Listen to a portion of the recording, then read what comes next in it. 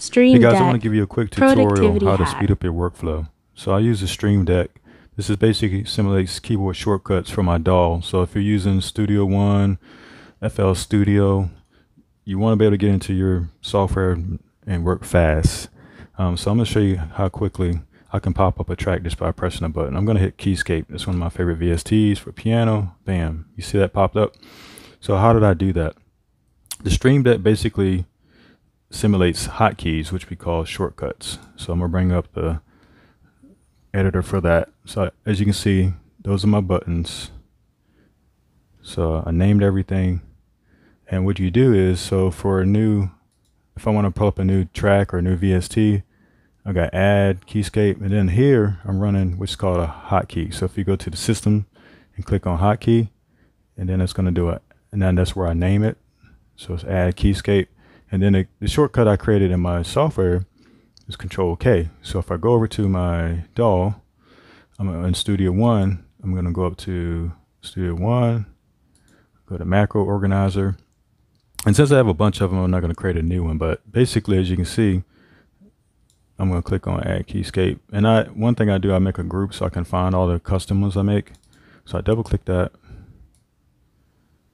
And so what I'm doing is basically adding a new instrument track. I'm giving it a name. So as you can see, it named it piano. And then, okay, so I need to assign the VST. I'm gonna double click it, instrument. Then I can go and select which VST I have. So as you can see, all the VSTs I have. There's Keyscape.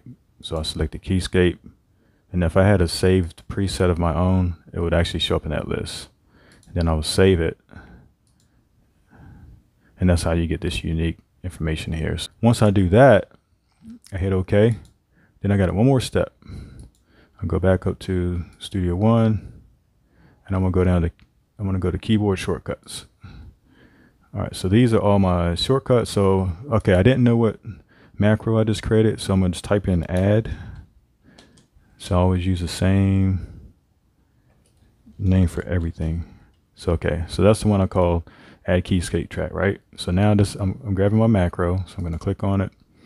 And this is where you go right here and you basically type in control K, whatever you want to do. You don't have to remember it. That's the cool thing. You don't have to remember what your shortcut is. So you find one, once you find one that's good, you hit assign and then it creates that control K. Now, if I were to press control K on my computer right now, even though I have a track there, I'm to press control K. And voila, I got another track.